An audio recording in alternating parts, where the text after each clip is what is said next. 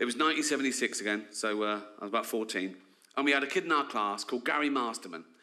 And Gary developed Tourette's syndrome, like every sentence of the swear word. And he, he had a tic, because we learned all about it in assembly. Gary was up there, all the teachers knew him, all the kids knew him. He was a popular lad, right? And um, yeah, ni- nice guy, uh, Gary Masterman. But sometimes his tics seemed relevant.